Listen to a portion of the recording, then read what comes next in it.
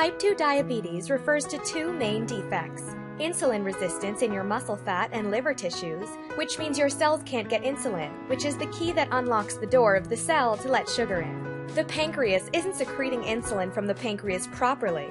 Most doctors that I work with feel that the cause of type 2 diabetes stems from being a certain ethnic background.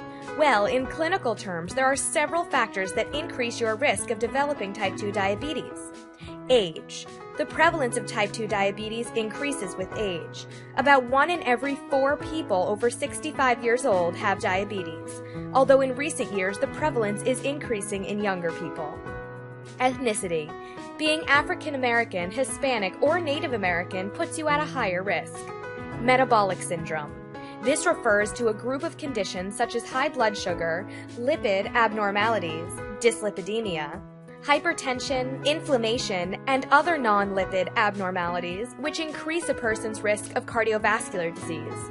Insulin resistance is usually the first thing to happen before a person becomes type 2 diabetic. And although the previously mentioned are more so risk factors, the real cause of type 2 diabetes is insulin resistance.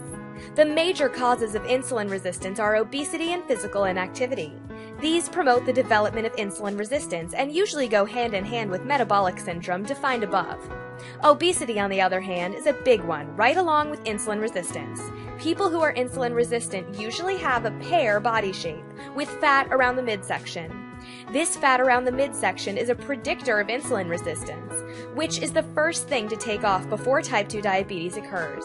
Type 2 diabetes occurs when blood sugar levels rise abnormally high and the body can no longer efficiently clear blood sugar from the bloodstream. When a person is inactive, has poor diet, and as a result becomes insulin resistant, eventually their blood sugar may rise to diabetic levels, which is dangerous and toxic to your organs.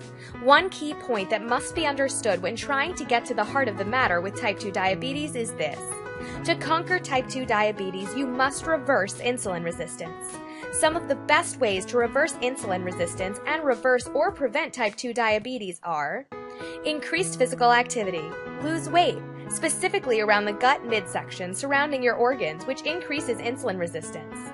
Make dietary changes, such as reducing refined carbohydrates and saturated fat, which contribute to weight gain. If you're serious about reversing insulin resistance and type 2 diabetes, then you need my step by step Master Your Diabetes program. In Master Your Diabetes, you'll learn how to reverse insulin resistance and diabetes. For more information, visit masteryourdiabetes.com now. Prior to using any of this material, please consult with your physician.